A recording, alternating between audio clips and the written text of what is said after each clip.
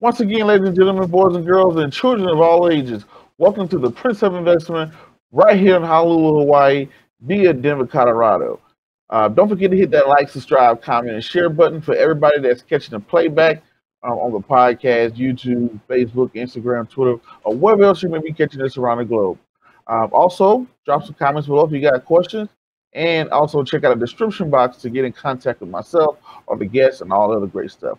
But as always, I don't have a lot of time, and I definitely know you guys and girls don't have a lot of time, so we're going to jump straight into it. So, as you guys and girls can see in the description box, we got a very, very special episode today with a very, very special guest. We all know it's that time of year again. It is tax season. Tax season when everybody file their taxes, whether it's a business, whether it's investments, whether whatever it is. But you know, we have a new president in office, and a lot of things have changed via the tax season. We know taxes change every single year. But that's why I brought in a very, very special guest and professional certified public accountant, Mr. Logan Howard, who's calling all the way from Pittsburgh. Um, what's Pittsburgh, Pennsylvania? I almost forgot what state Pittsburgh was in for a second. But uh, without further ado, let me introduce my guest. How you doing today, Mr. Howard? I'm great, Prince. Thank you for having me. I appreciate the opportunity. Awesome, awesome. Thank you for coming on today. So, the first thing I want to do is for the people out there who don't know you or who haven't been introduced to you yet, tell us a little bit about yourself. Yeah, so uh, I uh, graduated from a state school here in Pennsylvania, and then I graduated from the University of Pittsburgh with my master's in accounting. And uh, I've been doing, started out auditing, but I've been doing tax work. Uh, this is my fourth year doing tax work. I am a certified public accountant and I do have my own business. So, uh, and I'm also passionate about financial planning. I teach college accounting and uh, tax courses at a local university and the University of Pittsburgh. So I'm pretty ingrained and entrenched in the uh, accounting and tax community here in uh, Pittsburgh area. Okay, awesome, awesome. That's some great stuff there. Uh, now, so by you having all your information and knowing all you know about taxes, coming into 2019 with the people that are new, some people have just started buying stocks, started buying investments, things like that. And their first question is, okay, so how does this affect my taxes? What do you have to say to that person? Right. So yeah, there's been some on, obviously some ongoing chatter and talk over the past year about the tax law changes. And um, you know, it's not one size fits all. Every individual has their own, you know, personal financial situation, and it needs to be evaluated individually like that. But you know, in general, tax rates have come down. You know, we've heard um, the tax forms have changed, and um, and I would say big picture items. Um, you know, exemptions and dependents uh, were eliminated, and the standard deduction, you know, has increased. You know, I'm sure those are some very technical terms. So if there's anything you really, you know, want me to explain, you know, I'd be happy to help. Okay, when you say the standard deduction, what does that mean? Yeah, so every individual, um, you know, business owner, you know, W 2 employee um, automatically gets a deduction, and that is called the standard deduction. Last year, every individual, so just say a single person last year, they would have got just over $6,000 deduction right off the bat as a deduction. This year, that same individual that would have had that just over $6,000 deduction now has a $12,000 deduction. So the standard deduction de- increased from 6,000 to $12,000. And um, if you were married last year, filing jointly, so a husband and wife, they would have had six each, a little over six each, so that had been just over 12. This year, that same married couple would have just over, or they would have $24,000 deduction. Wow. Okay. So that means that all of the taxes that they paid, twenty-four thousand dollars will be taken down. Am I saying that correctly? Right. So just say a married couple in 2019 or 2018, um, if they just say they, you know, each made fifty thousand dollars, they were at hundred thousand dollars. So their taxable income would automatically drop from a hundred thousand to seventy-six thousand. They would only be paying tax on seventy-six thousand the standard deduction would drop their income. Got it. Now, uh, for the people that are out there that are listening to this, that are you know everyday person, uh, they have a 401k, they bought some, they purchase some stocks and things like that. What are some tricks, or what are some ways to limit their tax exposure, aka pay less taxes? Right. So I would say right off the bat, if you're an employee working for an employer, you know, then you have access to a retirement plan, a 401k or a 403b if you're a government or a nonprofit worker. So I would encourage, you know, employees to contribute the maximum amount or try to contribute as much as they possibly could to limit their taxes. Um, that would definitely, that's, you know, pre-tax, that would drop their taxable income. And also, you know, when you're contributing to a retirement account through your employer, you're, you're, you know, you're deferring your taxes, but you're also saving, you know, for retirement and investing for your future. And I wouldn't leave money on the table because a lot of the times your employer will match up to a certain percentage. So if you do not, you know, meet that, if you do not meet the uh, the amount for them to match, then you're, you know, losing money. You're leaving money on the table. Okay, when, when you say I should put money into my 401k to avoid taxes. Could you explain a little further? What does that mean? How does that work? Right. So just say you, um, you know, are making fifty thousand dollars at your salary, and you want to contribute to your um, 401k. So just, just just say, you know, you try to contribute ten percent of your in your gross income. So if you are making 50,000, you decide to contribute 10% of your income. Um, you know, 50,000 times 10%, you're contributing $5,000. So your taxable income would go from $50,000 to 45. So you avoid paying tax on that $5,000 that you contributed. Awesome, awesome. Okay. So now you're explaining what we all know as traditional and a Roth. Out of traditional and a Roth, tax purposes, which one are you leaning towards, or which one you probably recommend for who? Right. You know, I, I, get this question often, and I am self employed, so, you know, I face this question as well. And I'll tell you what I do personally and what I personally recommend. Um, mm-hmm. I have one of each. I have a traditional IRA and a Roth IRA. And just to explain from a tax perspective the difference, a traditional IRA, you get a tax deduction now for the amount that you contribute, and that grows tax deferred until retirement. And then you have to, um, so, and then in retirement, you pay income tax when you withdraw that money. So, a, so a traditional, you get a tax deduction now, and then you pay tax when you withdraw um, at retirement and you have to keep the money in there until age 59 and a half. Um, and that's the earliest you can take it, but then you automatically have to start taking withdrawals at age 70 and a half. And then on the other hand, you have a Roth IRA, and a Roth IRA, you do not get a tax deduction now. The money that you contribute um, grows over time, the money invested, and then when you retire, then you can withdraw that money tax free. So essentially, you pay tax now, but you'll have tax free income during retirement. Um, also, one thing that people do not know about the Roth IRA is you can withdraw your contributions um, tax free, but if you try to withdraw money before retirement from a traditional IRA, you will be hit with a penalty.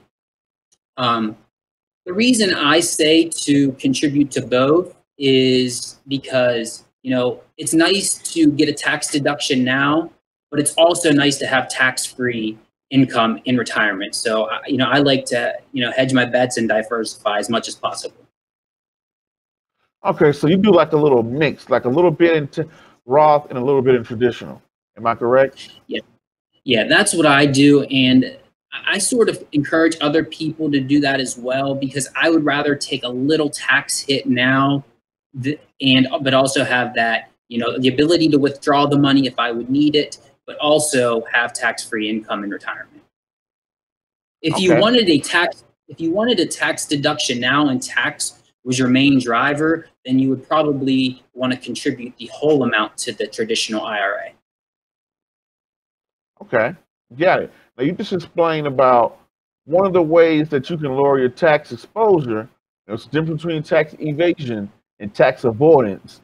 But one of the ways you can uh, limit your tax exposure is by contributing to your 401k because that money um, takes down your tax exposure. What are some other ways out there that I can lower my tax exposure?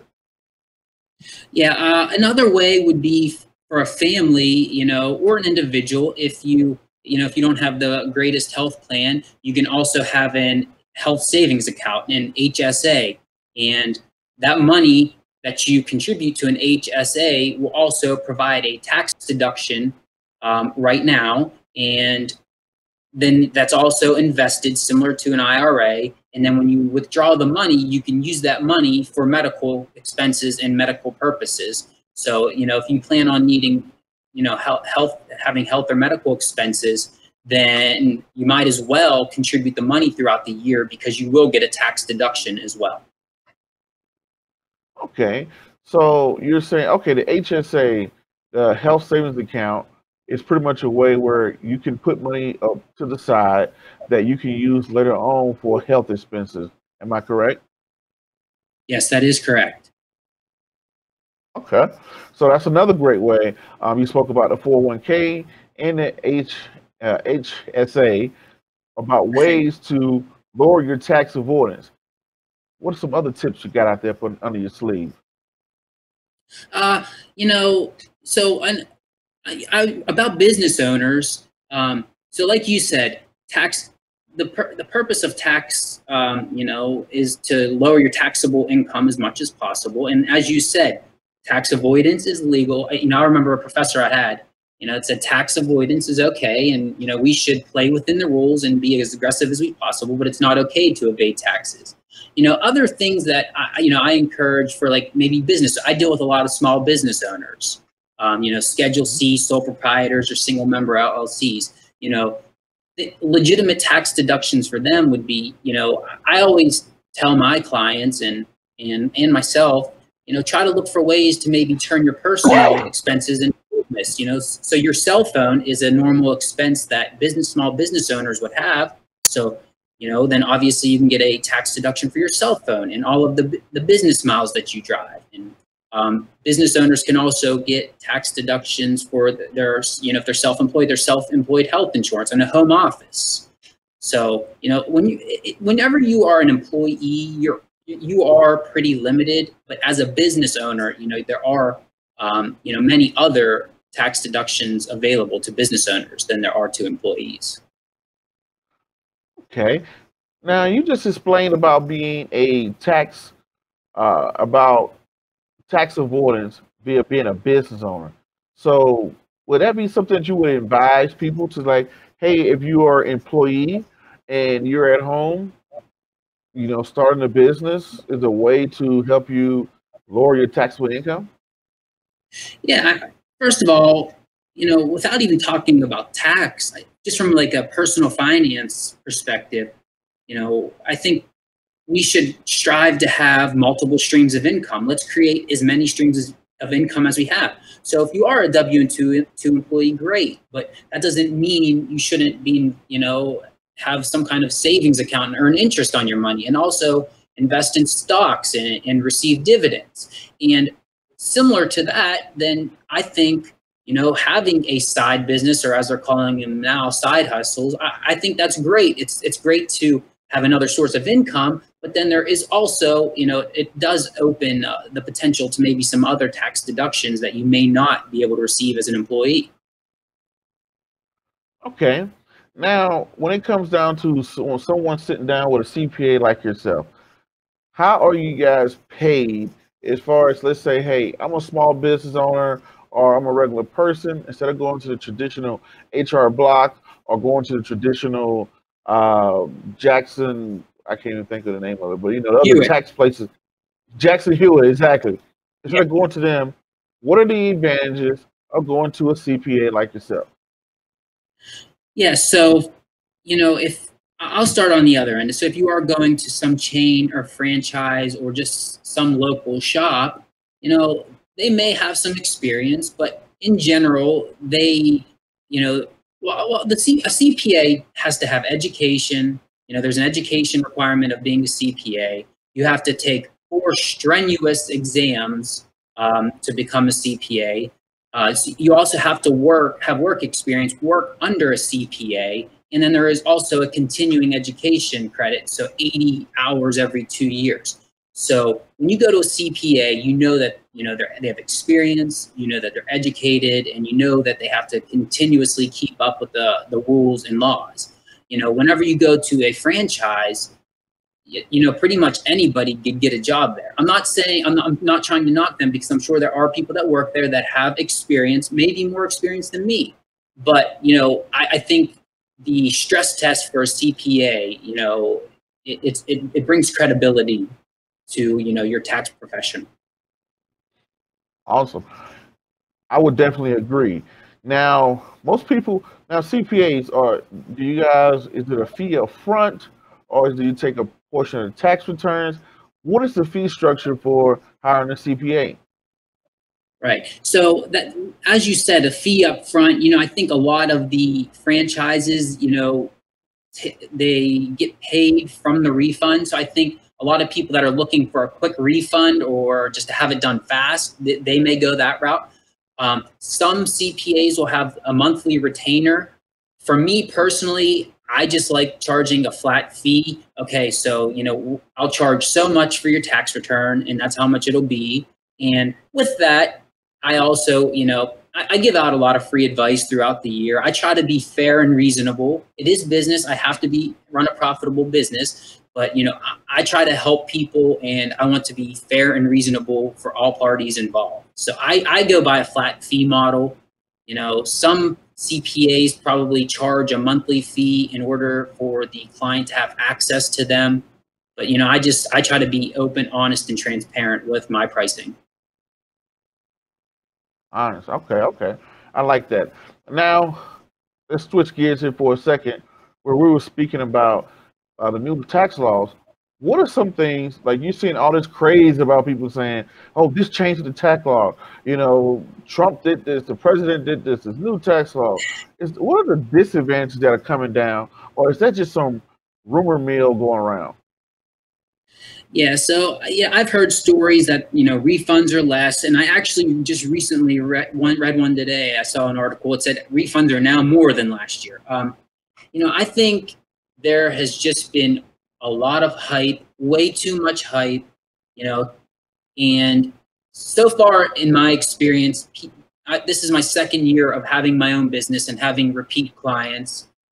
The, the, the repeat clients so far, most of them are in a very similar spot.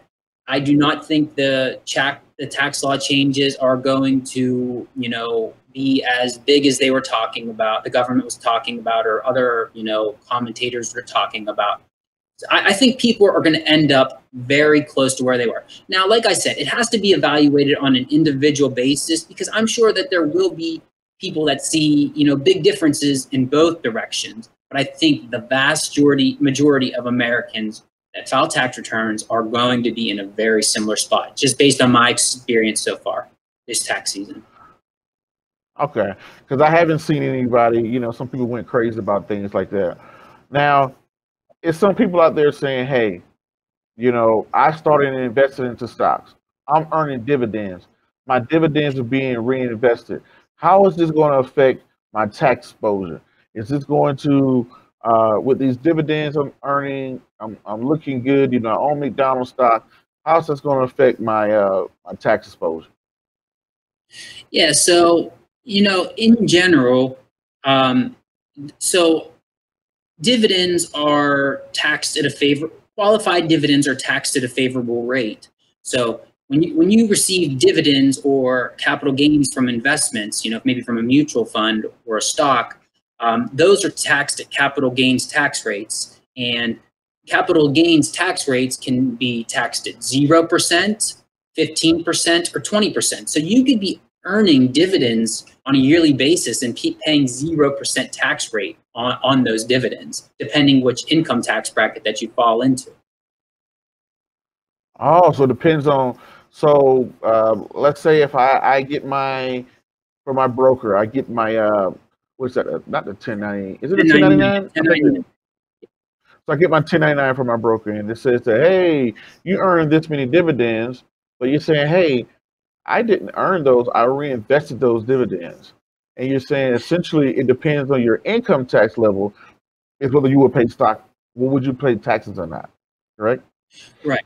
Right. So, you know, when you re so yes, I from an investment perspective, I encourage reinvesting dividends because you know that that's pretty much the compound interest effect. And um, you, you know, when you reinvest dividends, your investments will eventually grow exponentially. But from a tax perspective, when you reinvest dividends, you will pay. And when I say reinvest dividends, so say you owned a stock or a group, you say you own so many shares of stock. If it paid you $100 in dividends. When I say reinvesting dividend, that means taking that $100 and reinvesting it back into that same same stock. But yeah, so that $100 that you received in income would be taxable and it could be taxed at a 0% income tax rate, 15% or 20%. It would all matter um, into which ta tax bracket um, you fell into. But capital gains um, tax rate is definitely favorable and um, typically lower than income tax rates. Got it. Got it. Okay. Now, so um, when you look at million dollar athletes or million dollar celebrities or whatnot or whatever the case may be, and they're they're paying a crap ton in their taxes. What is advice would you give them, or what advice would you give them to kind of avoid taxes in their uh, tax bracket? Right. So, you know, that's definitely challenging. That's a good problem to have. and I don't work with any professional athletes or entertainers yet. but um mm-hmm. you know, that that's and and one other complex when I worked in Pittsburgh, I did actually work um, you know, with I, I would say like a professional professional football coach. And um you know they have to file in you know multiple states. Th- their issues get very tricky. But as for you know ways for them to limit their tax i, I think it just comes back down to you know a, the way any other employee would do that. And that is try to contribute as much as money to a retirement account as you possibly could to lower your um, you know lo- lower your your tax um, your income and also you know contribute to things like HSAs or um, just uh, just try to defer taxes as much as possible. But there is no, there's really no way to, um, you know, just based on the normal situation. Okay, so would you agree that would you agree that the top three ways to kind of lower your tax exposure or avoid taxes is to one increase as much as you can to a 401k, two uh, put as much as you can into a health savings account. Three, start a business. Um, yeah, I would say those are those are three pretty good pretty good options. Um, yeah, off the top of my head. Okay, so now because you know I want some people to get out there because they always asking this questions, and I know it, there are some um, celebrities and some athletes that have asked that question that are tuning into the show and watch and things like that. And you know, they're like, hey, you know, when I get paid, you know, like you said, I'm paying taxes in every city. You know, I have an away game in LA, I'm paying California taxes, Georgia taxes, this taxes, that taxes. So like half of my income goes to tax. So I thought it'd be very key in to hit on uh, tax avoidance or some ways, some keys out there. Right. Definitely. Now, one I of mean, the things. Hmm, go ahead. Go ahead. Good. I'm good.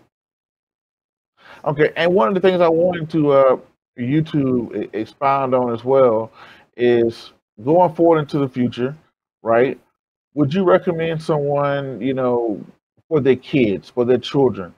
What are some tax advantages or tax ways when you start to think about children, if there are any out there?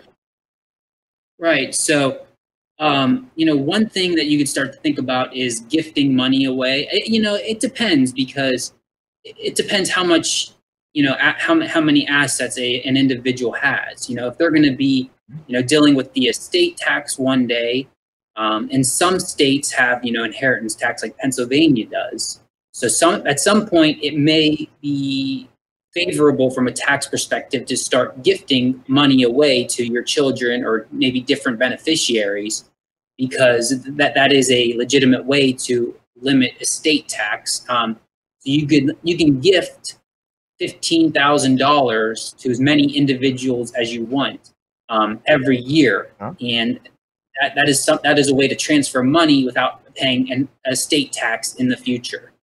And also, you know, if if there are you know wealthy athletes, entertainers, or whatever it may be, um, you know, then you you may want to consider to start a trust because you know that gives that gives you more control over you know how those assets will be distributed and to make sure that the funds you know are in good hands to take care of your you know loved ones family friends beneficiaries Okay, good stuff. Glad you brought that up. Quick question. Can you explain out to people what is a trust? Yeah, so a trust is it's it's an agreement. It's uh it's a it's a legal agreement where you pretty much are shifting monies to a fiduciary.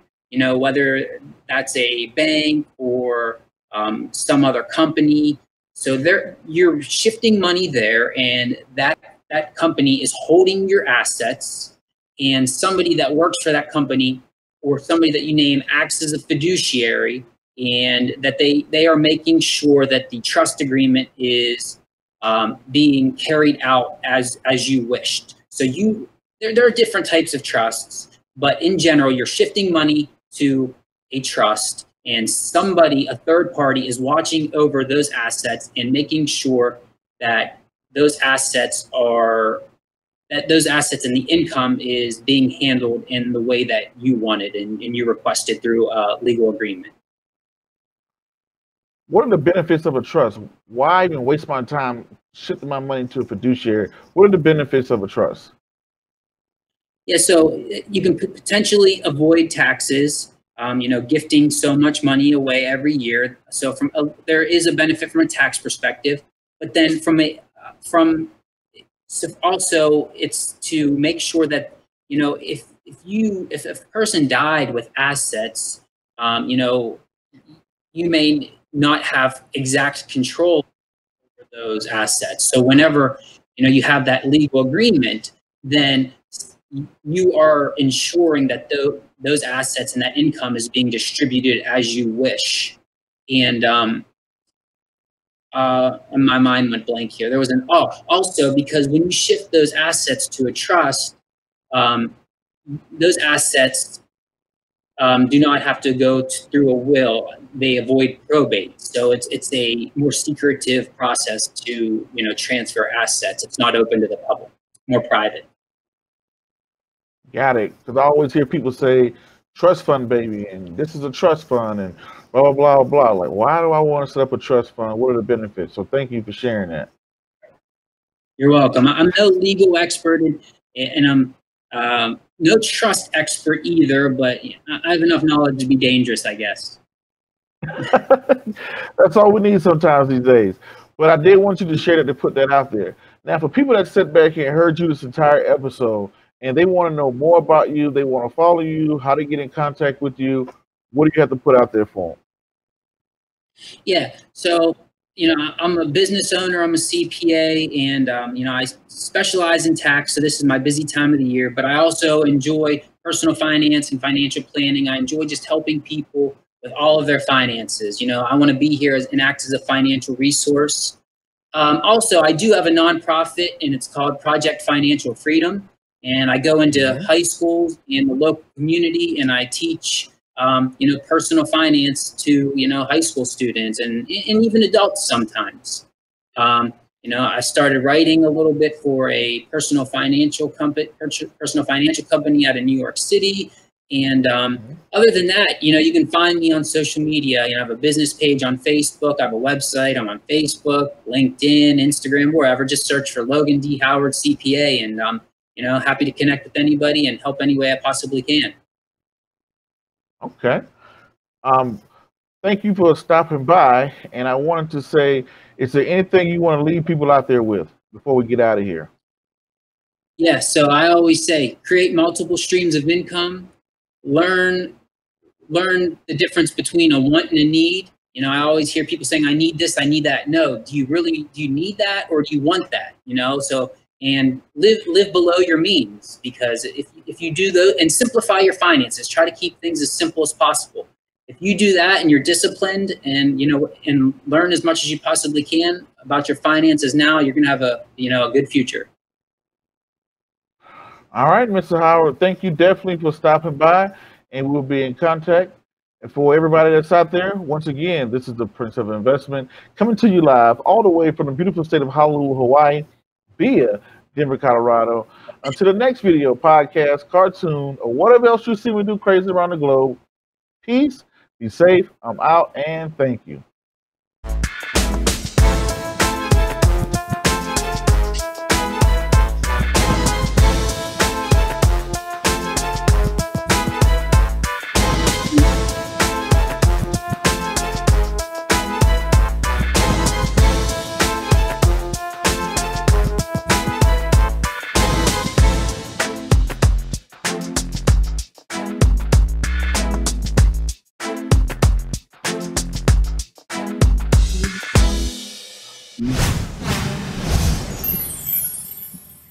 Should I accept?